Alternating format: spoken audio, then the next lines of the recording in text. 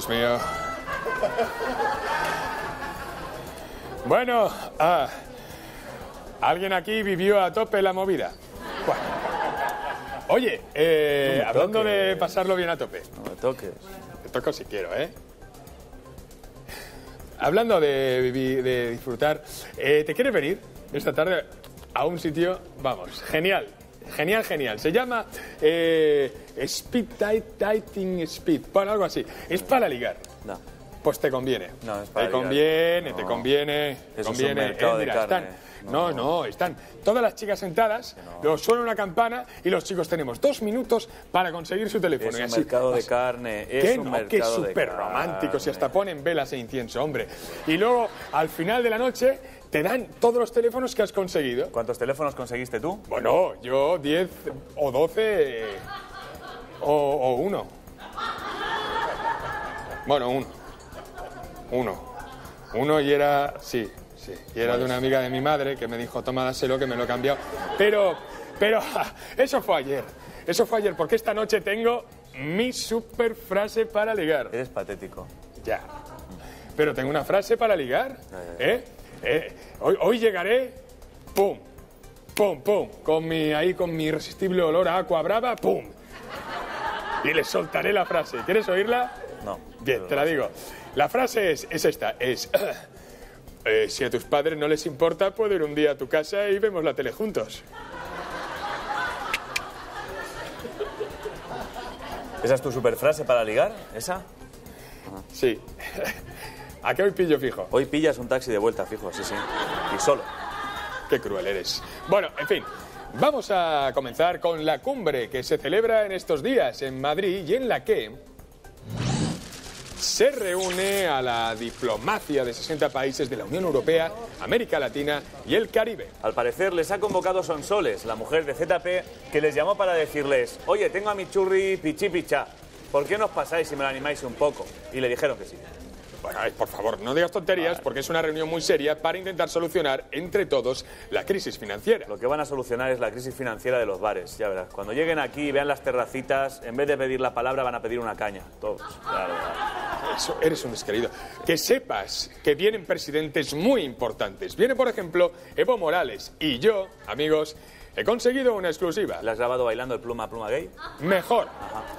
Amigos, esta tarde Evo Morales va a venir al programa. ¿Qué me dices? Lo que oyes, le hemos preparado una recepción como merece un presidente de gobierno, aunque sea homófobo. Y calvófobo.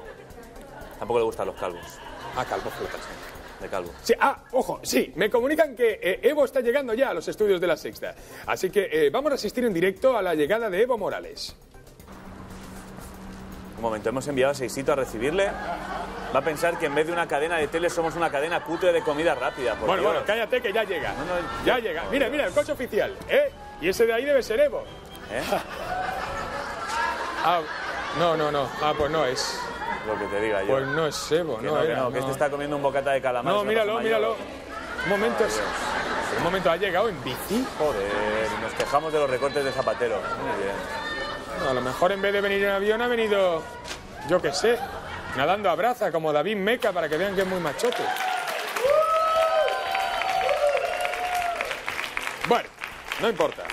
Luego, luego tendremos a Evo con nosotros. Pero mientras tanto, seguimos hablando de la cumbre porque ayer se celebró una cena en honor de los jefes de Estado que asisten a la misma en el Palacio Real. Y allí, el príncipe sustituyó con emoción al rey Juan Carlos. Fue un momento complicado para él porque es la primera vez que hacía de rey. Complicado tampoco sería muy complicado, ¿no? Quiero decir, es cenar. Bueno, ¿Qué puedes hacer mal? Atragantarte y vomitar en la mesa. Es cenar. no, claro, es que no, es- es que no es solo cenar. No. Hombre, no, claro, es que es mucho más que eso. ¿Ah, sí? ¿Hay chupitos luego? ¿En serio? ¿Con los osainas qué parece? No, hubo chupitos, no, Ah, pero hubo esas cenas son muy importantes pues, Ah. para hacer contactos. Claro. Eh, claro, y Claro. con el rey de baja es importante que le sustituyan bien. De hecho, el príncipe ya ha informado puntualmente a su padre de cómo fue la cena. Mira. Mm, Bueno, pues vengo de, en fin, de, bueno, ya sabes que hay una cumbre de mogollón de presidentes, que es europeo, pero los latinoamericanos también, y... Oye, ¿no echar de menos algo? ¿Cómo? Nos falta tu entrada. Joder, ala, a levantarse, Venga, lo que hay que hacer de verdad. Venga, da. Hasta luego. Qué gilipollas más grande. Venga. ¿Y le ha dado por esto? Pasa, pasa. ¿Qué es? Es una tradición. ¿Estás contento ya? Claro. Bueno, como te decía, que he estado en la cumbre porque como estás malo y eso, mm, porque estás malo, ¿verdad? ¿Estás malo? Sí, muy convincente. Bueno, pues te cuento y eso. Eh, que todo está saliendo a pedir de boca, ¿eh? Ayer hice un brindis y todo. Y bueno, luego conté unos chistes para amenizar la cena y todo. ¿Os sabéis el de los omadiguita? ¿Cuándo viene el rey? Y, eh, sirve más vino, a ese sobre todo. Vamos, que un coñazo, Eh, ¿no? Mm, Pues sí, la verdad, lo he intentado todo, pero es que no hay manera. Has imitado chiquito. Sí, pero es que no ¿Y a termino. Barragán? También. ¿Has contado chistes de madiquitas? Y poniendo voces. ¿Y el del cáncamo? Es que es un público muy difícil, ¿sabes? Y tú me quieres sustituir a mí, ¿no? No te queda mili. Sí, bueno, yo... Sí, sí, sí. Es que no sabía que era tan difícil y eso es... eh, No. Bueno, eh, ahora echaré menos otra cosa, ¿verdad, padre? ¿A que sí? Sí, cuando te piras. Bueno, bueno, bueno, bueno, bueno. Atención, atención porque me comunican que Evo Morales está ya en maquillaje. Vamos a conectar con él. ¿Qué tal, señor presidente? ¿Está todo bien? Hola.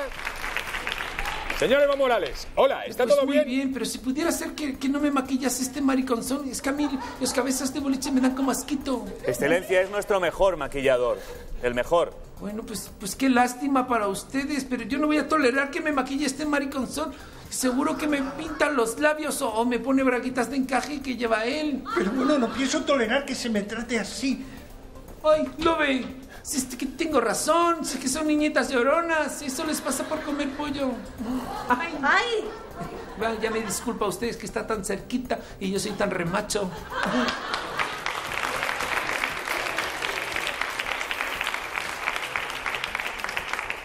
Serás presidente de, de lo que sea, pero no vuelva, a- que no vuelva a hacer eso porque es que le denunció por acoso, está metiendo mano a las maquilladoras, pero Bueno. ¿este tío de qué va? en fin, bueno, más tarde tendremos al presidente Evo en el plató. Así que todas las chicas de plató ya sabéis, poneros el cinturón de castidad que tenéis debajo de los asientos.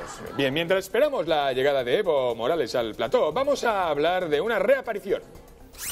La de José María Aznar, el Conan del PP, alias Pelazo, y es que el melenudo presidente, expresidente, ha perdido, ha pedido, ¿cómo estoy hoy? Ha pedido la dimisión de Zapatero. Pero desde las páginas del Financial Times ha pasado del váyase, señor González, al go away, Mr. Zapatero. Y lo ha pedido en inglés. ¿Cómo ha progresado el tío? Si hace unos años lo máximo que sabía decir era Whopper. Ya, de todos modos, los del PP siempre han tenido facilidad para los idiomas. Claro que es normal, si entienden a Fraga, pues normal que... Sí, que entiendan cualquier cosa. No sé yo, de todos modos, si Rajoy sabrá mucho inglés. O sea, como mucho a nivel usuario. Usuario del traductor de Google, digo. Bueno, pero eh, siempre puedo contar, eso sí, con la ayuda de una experta en inglés y en disciplina inglesa, Esperanza Aguirre. Europe must reset the clock on stability and growth. No entiendo nada, no entiendo nada. Es que están letras extranjeras. Bueno, voy a llamar a Espi, que inglés sabe un rato.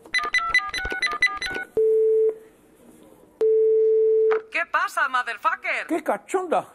¿Qué significa eso que me has dicho? Motherfucker significa Mariano. Así que Mariano en inglés es motherfucker. ¡Qué curioso!